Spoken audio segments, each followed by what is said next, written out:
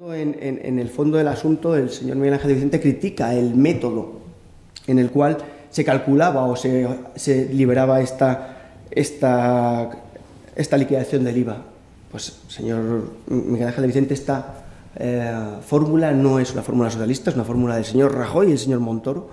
que en su día, si tan mal le parece, eh, pues oye, en su día que eran sus jefes, podía haber aprovechado para haberles pedido que lo hubiesen retirado. Pero bueno, no, es ahora el, oportunismo político cuando, cuando merece la pena decirlo. Pero es que además, eh, ¿qué esperaba? Hay un informe de la abogacía del Estado en el mes de agosto en el cual eh, dice, por cierto, muy parecido a otro que hubo en la época de Rajoy, que un, que un gobierno en funciones no puede tomar ciertas deliberaciones, ciertas decisiones, entre ellas esta. ¿Qué pensaba? ¿Que el Partido Socialista iba a salvar o iba a, a imponerse a lo que estaba diciendo la abogacía del Estado, iba a saltarse las normas. Perdone, pero el Partido Socialista no pretende, ni quiere, ni coquetea con la ilegalidad, como parece ser que en otros se sienten cómodos cerca de ella. Eh, pero a pesar de todo ello, el gobierno del señor Sánchez siempre ha intentado buscar soluciones. De hecho, ya le estoy informando, le estamos comentando que se han liberado esos fondos, pero es que además, durante todo este periplo, de estos diez meses intensos de gobierno plenamente legítimo y, en pleno rendimiento del señor Sánchez, de Pedro Sánchez, pues se ha conseguido que durante todos esos viernes sociales se han conseguido recuperar o, instaurar derechos de, la, eh, que, antes no teníamos y que eh, se han hecho gracias a, a, la aportación también económica que ha ido sosteniendo los detrás